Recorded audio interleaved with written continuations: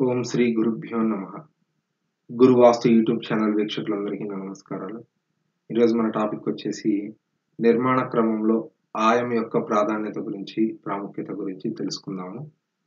ముందుగా నా పేరు దుర్గా సాయినాథ్. మీకు గల ఎటువంటి వాస్తుపరమైనటువంటి సందేహాల కొరకైనా సరే ఈ స్క్రీన్ మీద కనిపిస్తున్నటువంటి నెంబర్కి కాల్ కానీ వాట్సాప్ కానీ చేసి మీకు గల వాస్తుపరమైనటువంటి సందేహాలకు సజెషన్స్ తీసుకోగలరు. అదేవిధంగా నూతన గృహ నిర్మాణాల ప్లాన్ల కొరకు కూడా సంప్రదించగలరు. మా వీడియోస్ మీకు నచ్చినట్లయితే లైక్ చేయండి షేర్ చేయండి సబ్స్క్రైబ్ చేసుకోండి.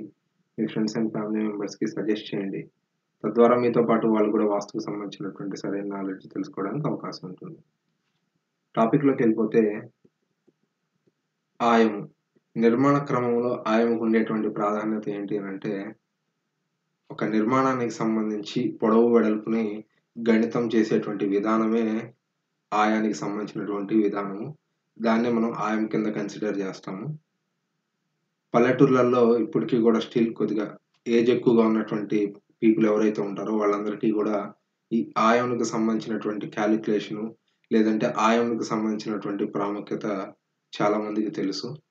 అయితే ఎవరైనా ఒక సిద్ధాంతి పల్లెటూరులో ప్రయాణిస్తే జనరల్గా అవకాశం ఉన్నంత వరకు వాళ్ళు క్రాస్ చెక్ చేసుకుంటుంటారు ఆయానికి సంబంధించినటువంటి క్యాలిక్యులేషన్ ఒకవేళ ఈ ఆయానికి సంబంధించినటువంటి క్యాలిక్యులేషన్ గురించి వాళ్ళకి ఐడియా లేకపోతే అట్లీస్ట్ ధనం ఎంత వచ్చింది రుణం ఎంత వచ్చింది ఇంటికి ఆయుష్ ఎంతకాలం ఉంది తర్వాత కలుసుబాటు ఎలా ఉంది దిక్పతి ఎవరు వచ్చారు ఇటువంటి అంశాలు కొంతమంది అడుగుతూ ఉంటుంటారు. టౌన్స్లో కావచ్చు లేదంటే సిటీస్లో కావచ్చు ఈ ఆయానికి సంబంధించినటువంటి ప్రాధాన్యత ప్రస్తుత కాలంలో ఎక్కువగా ఎవరు ఇవ్వటం లేదు. కొంతమంది బిల్డర్స్ మాత్రం ఆయానికి సంబంధించినటువంటి ప్రాముఖ్యత ఇస్తూనే అపార్ట్మెంట్ హౌసెస్ కావచ్చు లేదంటే ఇండిపెండెంట్ హౌసెస్ కావచ్చు నిర్మాణం కూడా చేస్తూ ఉన్నారు. అయితే ఈ ఆయంకు సంబంధించి చాలా రకాలైనటువంటి క్యాలిక్యులేషన్స్ అంటే డిఫరెంట్ డిఫరెంట్ ఏరియాస్లో డిఫరెంట్ డిఫరెంట్గా వీటికి సంబంధించినటువంటి ఫాలోయింగ్ చేస్తూ ఉన్నారు. ఈ వీడియోలో నేను ఏదైతే ఫాలో చేస్తానో దానికి సంబంధించినటువంటి అంశాన్ని మాత్రమే ఇక్కడ నేను మీకు ప్రస్తావించడం జరుగుతుంది. ఈ ఆయానికి సంబంధించి రెంటల్కి ఒకలాగా చూసుకోవాలి ఓన్గా ఒకలాగా చూసుకోవాలి. ఇన్ కేసు మనం రెంటల్కి వెళ్ళాము ఏదైనా బిల్డింగ్లో అప్పుడు ఆయం చూసేటువంటి విధానం అప్పుడు స్ట్రక్చరల్గా కన్స్ట్రక్షన్ మొత్తానికి చూడము మనం ఎక్కడైతే ఉంటామో ఆ రూమ్ వరకు లేదంటే ఆ ఏరియా వరకు మాత్రమే లివింగ్ ఏరియా వరకు మాత్రమే ఆయాన్ని చెక్ చేసుకోవడం ఉంటుంది. ఇవన్నీ కూడా డిపెండ్ అపాన్ ద సిచ్యువేషన్ దాన్ని తగ్గట్టుగా ఆయం ఎలా తీసుకోవాలి అనేటువంటి విధాన్ని విధానాన్ని తీసుకొని దానికి సంబంధించినటువంటి క్యాలిక్యులేషన్ చూసుకోవడం జరుగుతుంది. ఓవరాల్గా దీంట్లో మాత్రం మీకు బేసిక్గా ఆయానికి సంబంధించినటువంటి నాలెడ్జ్ అయితే ఇవ్వడానికి ప్రయత్నిస్తాను. ఆయము ఇళ్ళకి జనరల్గా ఏ విధంగా చూస్తారు అనేటువంటి విషయాన్ని గురించి దీంట్లో మీకు ప్రస్తావిస్తాను. కన్స్ట్రక్షన్ ఏరియా జనరల్గా ఏదైనా సరే ఒక స్థలం ఇరవై ఐదు అడుగుల వెడల్పు ఒక యాభై అడుగులు పొడవు ఉంది అని అనుకుంటే కొంతమంది ఇదంతా కూడా కన్స్ట్రక్షన్ చేస్తూ ఉంటుంటారు. కొంతమంది చుట్టూరు సెట్ బ్యాక్ వదిలిపెట్టుకొని మధ్యలో గృహం తీసుకుంటూ ఉంటారు. ఈ కన్స్ట్రక్షన్ ఏరియా గృహానికైనా లేదంటే ఇక్కడ తీసుకున్నటువంటి గృహానికైనా దేనికైనా సరే ఆయము అనేది పిల్లర్ మధ్య భాగం నుంచి పిల్లర్ మధ్య భాగంకి చూసుకోవాలి. అది పొడవులో కావచ్చు వెడల్పులో కావచ్చు పిల్లర్ మధ్య భాగం నుంచి పిల్లర్ మధ్య భాగానికి చూసుకోవాలి. అదేవిధంగా నేను పాటించేటువంటి ఇంకొక విషయం ఏంటి అని అంటే ఎప్పుడైతే కన్స్ట్రక్షన్లో సెంటర్లో బ్రహ్మస్థానంలో హాల్ వస్తుందో ఈ హాల్కి కూడా నేను ఆయం చూసుకుంటూ ఉంటాను. ఇక్కడ మీరు అబ్జర్వ్ చేస్తే పిల్లర్ నుంచి పిల్లర్ మధ్య భాగంలో ఆయం చూసుకోవచ్చు. అదేవిధంగా ఎవరికైతే నాభి స్థానంలో సెంటర్లో హాల్ వస్తుందో ఈ హాల్కి కూడా మనం ఆయం చూసుకోవాలి. నేను పాటించే అంశం అంశం ఇది రెండో అంశం. ఇది అందరూ పాటించకపోవచ్చు. కొంతమంది పాటిస్తూ ఉంటుంటారు కొంతమంది పాటించకపోవచ్చు. ఇక్కడ కూడా మీరు అబ్జర్వ్ చేయొచ్చు. ఈ ప్లాన్లో కూడా కొంతమంది పిల్లర్స్ లేకుండానే కన్స్ట్రక్షన్ చేస్తూ ఉంటుంటారు. అటువంటి వాళ్ళు గోడ మధ్య భాగం నుంచి గోడ మధ్య భాగం వరకు పొడవులో కావచ్చు వెడల్పులో కావచ్చు క్యాలిక్యులేషన్ చేసుకోవాలి. ఆయనకి సంబంధించినటువంటి క్యాలిక్యులేషన్ ఇక్కడ మీరు అబ్జర్వ్ చేస్తే ఈ లివింగ్ ఏరియా ఏదైతే ఉందో ఈ లివింగ్ ఏరియాకి కూడా నేను ఆయాన్ని ఇవ్వడం జరిగింది. కాబట్టి ఈ రెండు పద్ధతులు నేను పాటించడం జరుగుతుంది ఇక్కడ మీరు అబ్జర్వ్ చేస్తే ఈశాన్య హాలు కొంతమందికి ఈశాన్య హాలు వాయువ హాలు ఆగ్నేయం హాలు ఈ విధంగా రావడం జరుగుతుంది.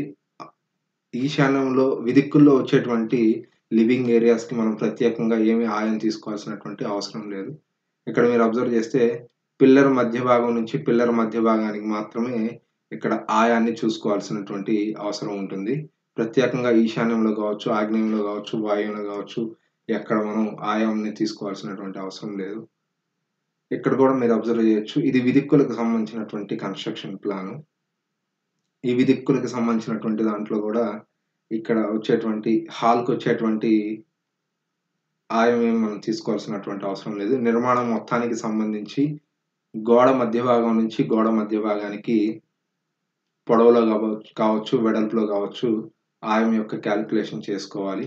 జనరల్‌గా ఇంటికి ప్రత్యేకంగా గదుల్ని ఆనించవద్దు అని చెప్పడానికి ఎందుకు రీజన్ ఏంటి అని అంటే ఆయం అనేది పారుదప్పుతుంది. ఇక్కడ మీరు అబ్జర్వ్ చేస్తే ఈ ఇంటి నిర్మాణానికి సంబంధించి ఇక్కడ ఆనుకొని టాయిలెట్స్ అనేవి తీసుకుంటే ఆయం అనేది పెరిగిపోతుంది. కన్‌స్ట్రక్షన్ ఏరియా ఇక్కడి నుంచి ఉండవలసింది ఇంకొద్దిగా పెరిగిపోతుంది. కాబట్టి ఈ విధంగా తీసుకోవద్దు అనేటువంటి కారణం చేతనే ఆయం పారుదప్పుతుంది అనేటువంటి కారణం చేతనే ఇంటికి ఎటువంటి రూమ్స్ కావచ్చు, ఏదైనా ఇతర ఇతర కన్‌స్ట్రక్షన్స్ ఆనుకోకుండా ఉండాలి అని చెప్పేసి చెప్పడం అనేది జరుగుతుంది.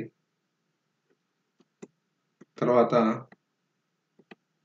ఈ ఆయంకి సంబంధించినటువంటి అంశాల గురించి ఒకసారి ఇక్కడ చూస్తే ఈ పొడవు, వెడల్పు క్యాలిక్యులేషన్ చేసుకున్నప్పుడు జనరల్‌గా ఏమొస్తాయి అంటే ఇంటి యొక్క ఆయుష్ ఇంటి యొక్క ఆయము, ఇంటి యొక్క దిక్పతి, ఇంటికి సంబంధించి ధనం ఎంతుంది, రుణం ఎంతుంది, తర్వాత ధనంలో నుంచి రుణం తీసేస్తే మిగులు కావచ్చు, ఆదాయం కావచ్చు ఎంతుంది.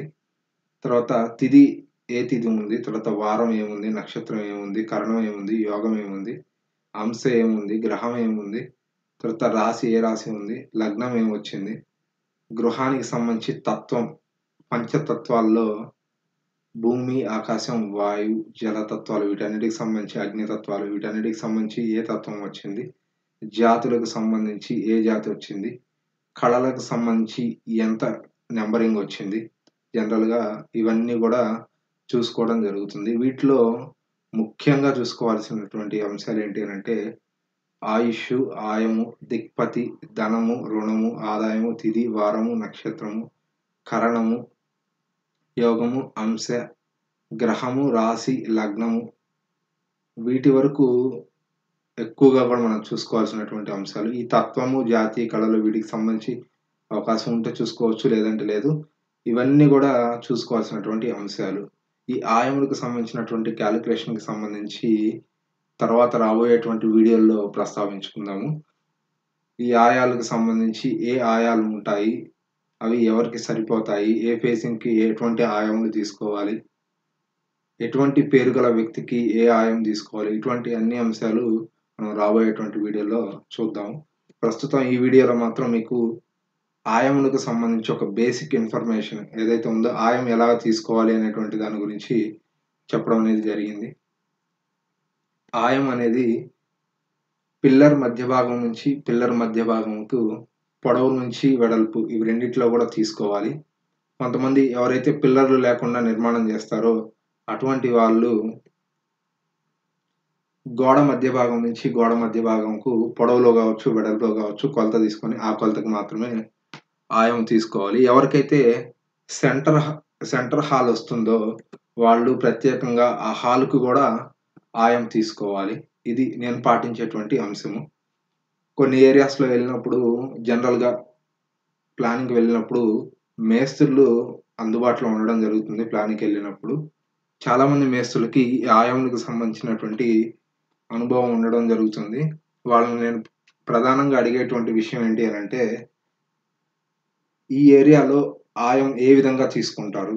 క్యాలిక్యులేషన్ అంతా ఒకటే ఉంటుంది కానీ తీసుకునేటువంటి విధానం ఇందాక నేను మీకు చెప్పినట్టు ఒక్కొక్క ఏరియాలో ఒక్కోలాగా తీసుకుంటుంటారు. ఒక్కొక్కళ్ళు కన్‌స్ట్రక్షన్ ఏరియా లోపల నుంచి లోపల కొలత తీసుకుంటుంటారు. కొంతమంది పిల్లర్ టు పిల్లర్ కన్ కంప్లీట్ కన్‌స్ట్రక్షన్ బయట కొలత తీసుకుంటుంటారు. కొంతమంది కన్‌స్ట్రక్షన్ సైట్ ఏదైతే ఉందో అసలు ఓవరాల్ ప్లాట్ సైజుకు తీసుకుంటుంటారు. కాబట్టి ఇటువంటి అన్ని అంశాలను దృష్టిలో పెట్టుకొని ఎవరైనా సరే వాళ్ళ లోకల్ సిద్ధాంతం వచ్చి చూసినా లేదు అని అంటే ఇంకెవరన్నా వచ్చి చూసినా వాళ్ళు వాళ్ళకి సంబంధించి కావచ్చు, మనకి సంబంధించి కావచ్చు, ఇబ్బంది లేకుండా ఉండే విధంగా ఆయా యొక్క క్యాలిక్యులేషన్ సెట్ చేసుకోవడానికి ప్రయత్నం అనేది చేయాలి. Thank you.